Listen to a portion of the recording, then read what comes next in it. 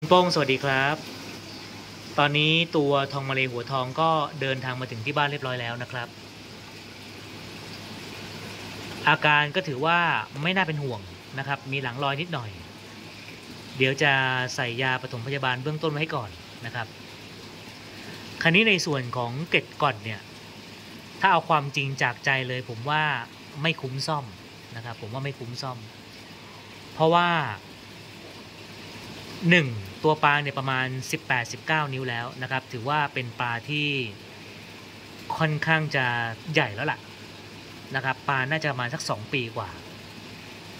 2 คือตำแหน่งที่เก็ดก่อนเนี่ยคือถ้าเทียบจากเดิมที่เคยเห็นมันน่าจะเป็นมากขึ้นนะครับ แล้วมันเป็นทั้งตัว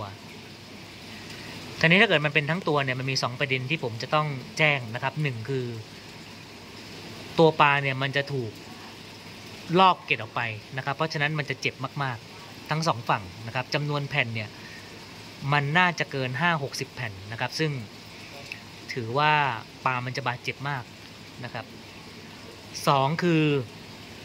การฟื้นตัวของเขาเนี่ย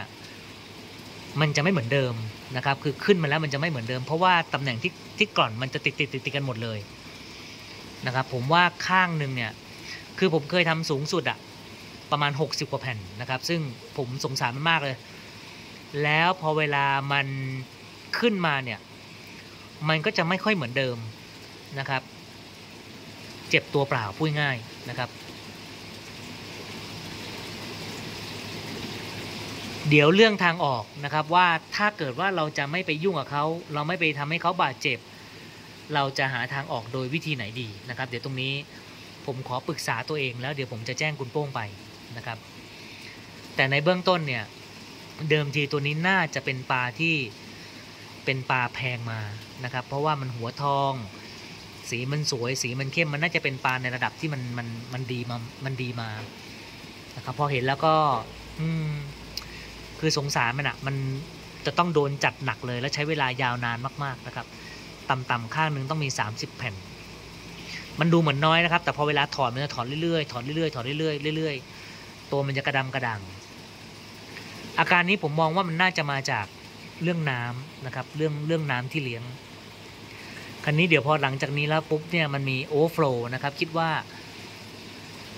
มันน่าจะดีขึ้นนะครับ ไม่ว่าจะเป็นตัวนี้หรือตัวใหม่ เนี่ยของเดิมเนี่ยมันเป็นครีบไม้กวาดมันบินบินไปบินบินมาเนี่ยไม่ค่อย work เท่าไหร่โอเค อันนี้ก็แจ้งไว้เป็นข้อมูลให้ทราบครับผม สวัสดีครับ เดี๋ยวให้ยาไว้ก่อนปฐมพยาบาลไว้ก่อน